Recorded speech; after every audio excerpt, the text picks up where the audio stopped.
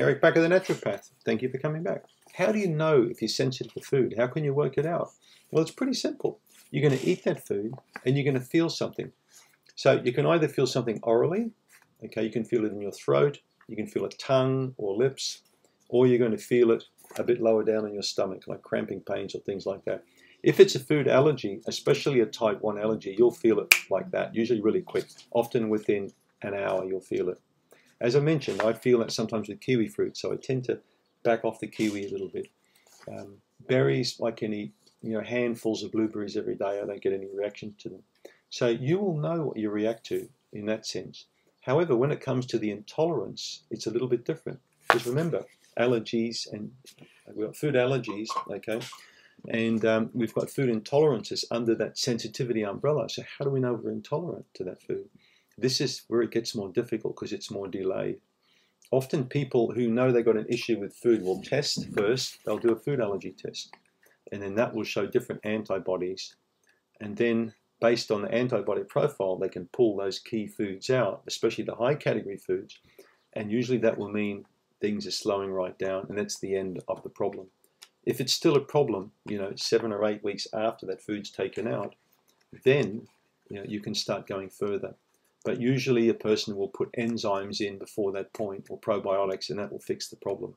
So probiotics and enzymes together often fix a food intolerance, you know, relatively quick. Food allergies only work by withdrawal of that food and then building the gut flora back up again. So good solid gut flora and plenty of enzymes there can really mitigate the symptoms of a food allergy to a high extent. We'll talk about that a bit later on. So what was the question again? How do you know you've got a food sensitivity? Well, you'll know. You've got signs and symptoms, all right? So what are the signs and symptoms, for example? Let's read a few of those out. These are of Candida Crusher.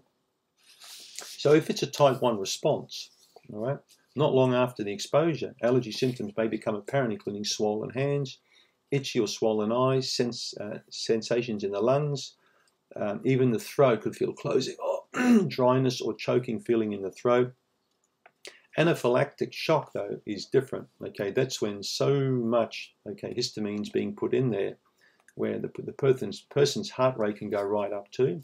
Can be quite dangerous actually if they've got a lot of adrenaline there. Uh, uh, even so, fast heart rate, um, you've got stomach cramping, diarrhea, hives, swelling, itchy, and skin rashes.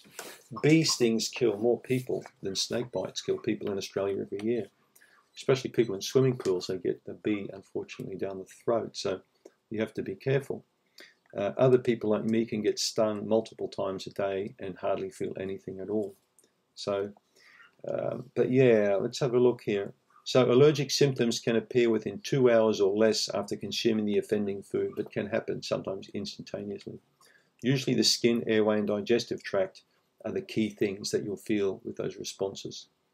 With the, um, the food intolerance, however, you don't usually get this like, wow, this pain kind of effect. It's more delayed and insidious. And, and you know, some of the symptoms I have seen with patients over the years when it came to intolerance, even were insomnia, couldn't sleep properly, restlessness in bed at night, um, hot body, even burning feet. I've seen weird symptoms with food intolerances.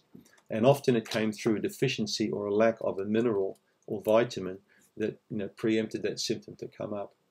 So this is again where it's confusing when a symptom is produced through a deficiency caused through an intolerance. All right, more more prone to have it from the intolerance I find than from the allergy perspective. People with allergies don't tend to have those kind of issues as much um, as the, the intolerance patients. So yeah, we'll talk about that in the next video. So thanks for tuning in. I hope you got something out of this one.